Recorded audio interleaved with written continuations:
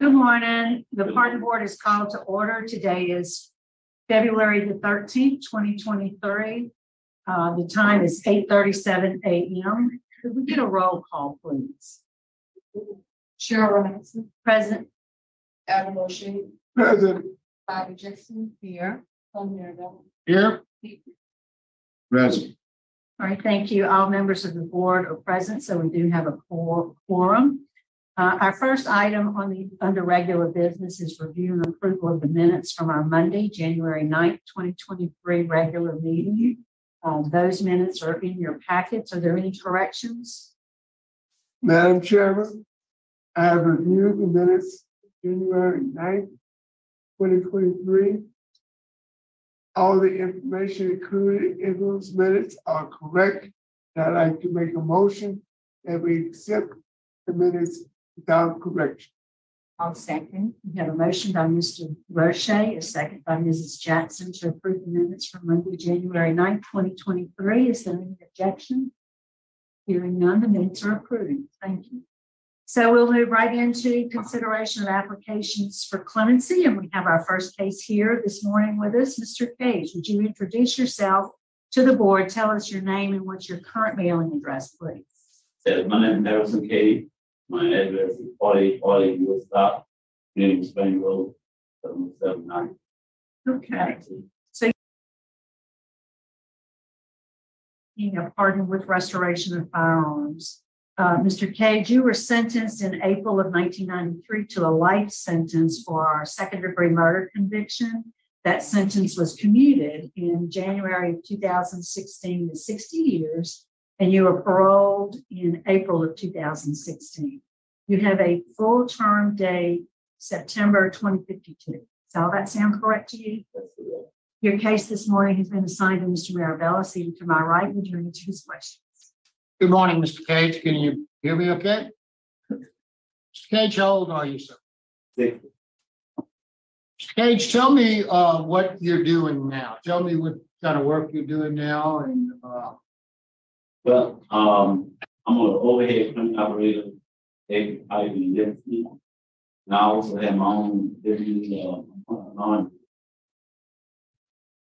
Jackson, young kids. let let's let's talk about the crime that you committed that you went to prison for. Uh initially, uh there was a different story, but I see in your application you admitted to what you did. So why don't you tell me just a little bit about what actually happened? Well, being, being young and bruised and hanging with wrong people, not getting brought up that way. Um, got caught up in, in drugs and the drug deal went bad and my nephew, um, wound up getting killed. Well, How did he end up getting killed? Because he was stabbed. Who stabbed him? I did, How did that come about? because we got into an argument about money over, over drugs. So there weren't two other guys that beat him up or anything like you, There was two other guys there.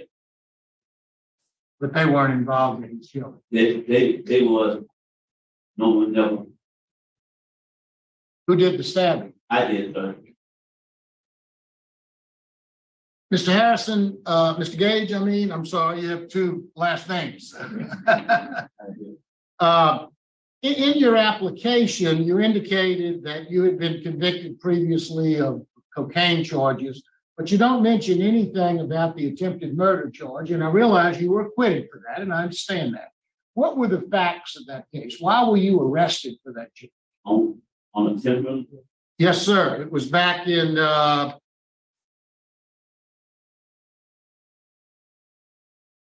hang on. I thought I had it dated in my notes, but I didn't.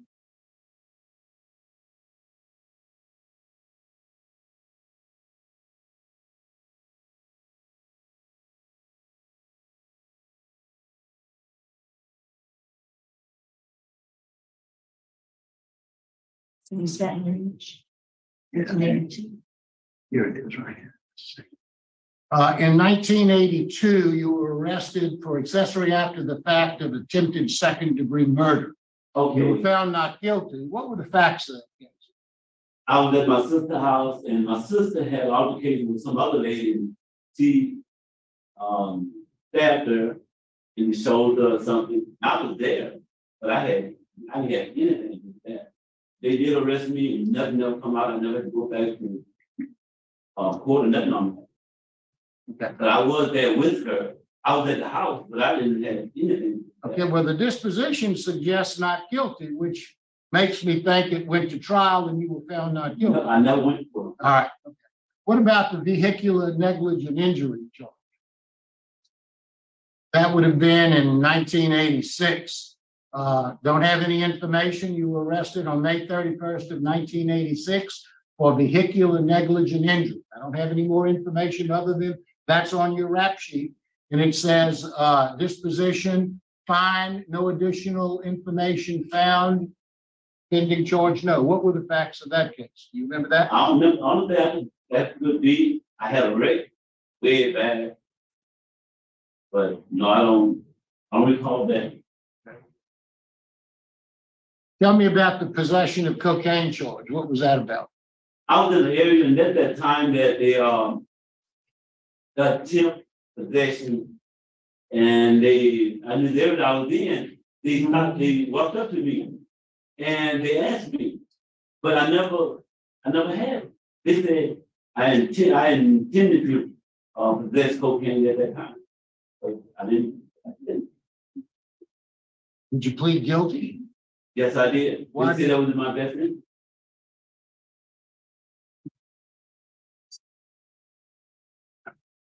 So tell me why it is, and how long have you been out?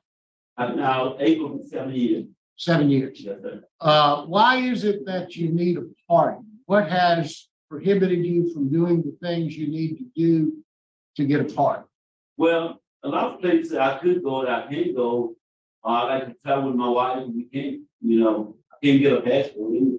I feel like with my sister and I are so close, we, we like to go places and do things that it restricts you from doing nothing.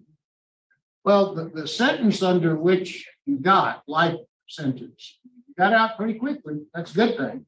Uh, and you've only been out about six years. You've got a lot of supervision ahead of you, and we've only been out six or seven years. I'm a little uncomfortable, frankly.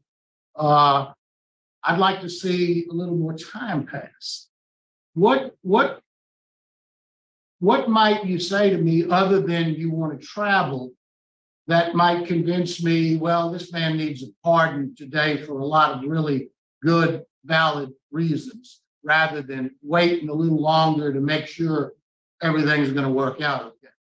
Well, first of all, I, the stuff I submitted to you and the people I know and stuff that I'm doing, I don't think there's not too much more I can do to, to show you that I wouldn't be productive out there and I can live a successful life. That, I- I that, like that, that is, that is true. But often this board likes to see a significant amount of time pass after a person is out of prison before they're pardoned. In a very short period of time, for a life sentence has passed since you've gone out. And that's a concern to me. So my, my question is, I, I, don't doubt that you've got a lot of people that say you've done a lot of good things in the last six years. My question is, what is so urgent that it can't wait for another four, or five years before you get your pardon? Oh, I'm not saying that it can't, the idea that I'll like to have some restrictions off me. And so again, the hopefully in the future, I can put this me on the block.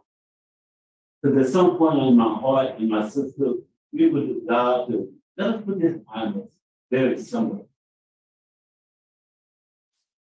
That's all. Thank you, Mr. Um, Marabella.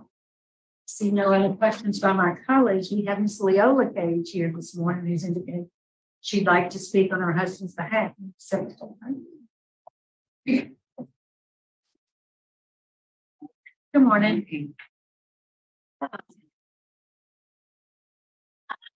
standing up this morning, speaking on my husband's behalf because not, well, I know he, he, to me, he said, he, he has been re- rehabilitated from the years gone. He's a different man. Um, he's a Christian. We, I've been knowing him since, I was fifteen years old, so we've been knowing each other like forty-two years, really. So, um. He's a great husband, to me, you know, and not only a husband, he's a great father to his son as well as my, my children. And he's also a caretaker, um, from, from our pastor. He's like old weekend, he became blind and crippled at the same time, so we take a lot of, he, my husband do a lot of caring for him, taking him around different places, doing this. And whatever he needs to do, so we, we are there to help him and hands on him, and not only that, that he's a, he was ordained as a deacon last year. Yeah, last year, so he's ordained deacon with ever, ever since he came home. And we got married, he came home in April, and we got married September of twenty sixteen. So we've been married for, it'll be seven years, this, this coming. So he joined my church, uh, Zion Baptist Church in Denham, and he was acting as a deacon, and he got ordained last year as a deacon. And like I said, he have grown from the time that twenty some years ago up until today into the man that I think it's perfect man outside of God. You know, so I, I need him, you know, and it's not just for traveling, but I think that he should be granted this uh, conversation, communication for other purposes where he could just move on with his life. He mentors a group of young boys from time to time. Uh, my grandson is one, uh, a whole lot of other people within our church and outside of our church. They only called me to get to him so he could give them some type of counsel, you know, so. So he's a counselor, you know, he's a Sunday school teacher, he's a Bible study teacher. You know, on, on top of being a deacon and a great husband, he is, so I just hope and pray that y'all see it today to grant him a commendation for his services. Thank you. Anybody else? I don't have any indication that anybody else wants to speak on his behalf. Okay, sir. I'm Walter Bowser, uh, I'm chairman. Coach Jackson. uh, well, This is the first time I've ever been before the board. And, uh, we go to Harrison. And, uh, I have to know Harrison, that he was working with Irene here and. other things with the region. Then, of course, long before he got out, he was, you know, you know, the government is one person. they Elect, and so I spoke a lot to, Harrison. And I've got to know him since we got out, I said, hey, look, uh, what can I do to help you? And, uh, you know, with jobs, so we got involved and, uh, Tom Bergeron hired him. He started working catering, and then Eric Lane hired him, two jobs. And, uh, then after that, he got offered offer of Jacobs, and later, uh, Kathy Pike. Been there for years, great job. Uh, and, uh, and of course, I know he was ordained last year, and, uh, so I've got, we've gone out socially, uh. In here in town, I've taken with me business seminars that we, business board has done. And, uh, I believe. I think it's, uh, path, I understand, uh, since we have, I understand the idea of time. I believe it's not today, and I hope that it is, two years, four years, six years, I'll be back. Say the same thing, I sit there, and I think he'll have even more accomplishments, uh, at that time. So I don't think that the day to end, I think will change, uh, like I said, I've never come and spoken of anybody, uh, before, and. Uh, I just know what I've seen, uh, in that time. Yeah, I know it's hard, and, uh, I would, uh, as I said in my letter. Ask that you, uh, to consider bringing this, uh, rest of the day. Appreciate the chance to speak. Yes, sir. Thank you. All right, um, is there anything you'd like to say before we vote? No, I just like to say, um, thank you for the opportunity. And I do really get my new point. But I do understand. the situation. It's not gonna change anything, I will go forward. You know, So, stay right there? We're ready to vote, Mr. Uh. Thank you uh, very much, Madam Chairman. Uh, Mr. Cage, uh, you've done well. Uh, you know, uh, this board has a responsibility to do things. We have policies and procedures. We have, uh, uh, some policies that are unwritten and, and some individual board members live by some of those policies. And one of those policies, to me, is a cleansing period. Uh, you know, we have many people who uh, come for uh, commutations, who are still in prison or murder, who've been in prison 30 plus years. Uh, your crime was only 32 years ago. Uh, so, uh, you know, and you've been able, you've been out for six years now, and you've done well. You, you have done well, and, and I believe probably uh, you will continue. I have a lot of respect for Mr. McCollister. He gets up here and he talks on your behalf, and I believe him. Uh, but, but for me, because of, of, of what I believe my responsibility is on this board and what I believe the policy that I, I, I try to follow in all the cases, I just don't think there's been a long enough cleansing period. Uh, I think in, in a couple of years, if you come back for this board and I'm still on this board for some reason, I would probably vote. But, but today, because my belief, because my, my thinking that it's just not enough cleansing period, my vote today would be to deny. It doesn't mean you aren't doing fantastic. It doesn't mean that I hope you continue doing what you're doing. It's just my, my vote. Good luck to you. Mr. Freeman? Uh, I concur with Mr. Marabella. I think we need a little bit more time. I, I agree that you're doing wonderful, but um, like he says, thirty-two years ago, and you already got one commutation, so my vote was either deny. Mrs. Jackson? Mr. Uh, excuse me, Cage, um. I don't, I don't anticipate that you're gonna go out and start creating funds. Anticipate that you're going to do anything differently than you've done over the last almost seven years. Uh, And as Ms. Marabella says, some of us, you know, have have our way of, of viewing things. um, But I mean, seven years is, is a long time. It is, a it is a track record. You have done exceptionally well. There's been no other infractions of any sort. You move forward with your life. And so um, my vote today would be to grant uh, the um, request and recommend the pardon without the right to possess a firearm. Thank you. Mr. Roche? Thank you, Madam Chairman. Good morning, Mr. Cage. I too, uh, would like to see a longer period of time, a cleansing period. Uh, you know, this, um, for the last seven years, is sort of a rule of thumb that we see a cleansing period of at least eight to ten years. And we haven't reached that point yet, so my vote is to deny your request. Thank you, Mr. Roche. So you've got a split vote. You know it takes four like votes for any favorable recommendation. So you've received four votes to deny your application this morning. One vote that was favorable. So the outcome of today's proceedings, your application's been denied. Good luck to you, Mr. Thank you. Thank you so much. Thank you all for coming. Reapply in a couple of years.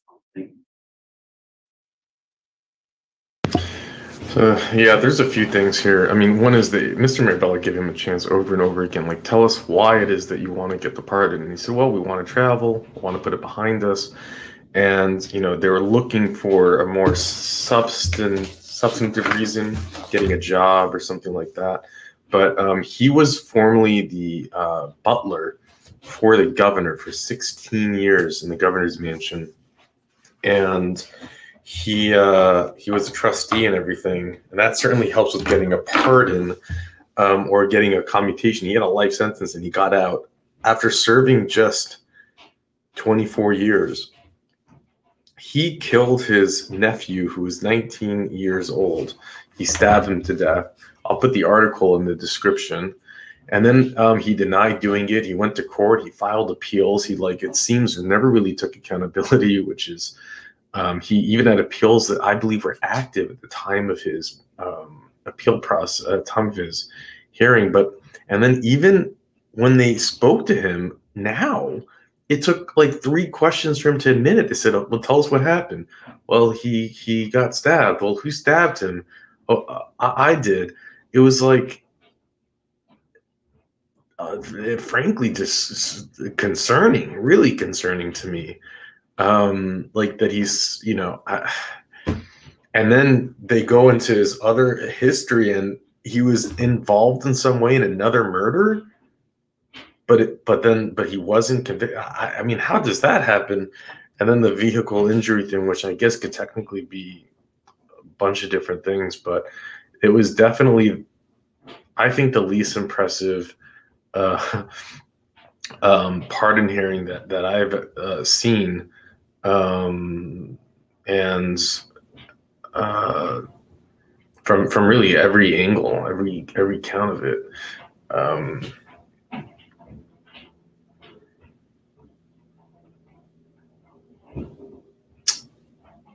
yeah, well, I'm glad with the parole board's decision here.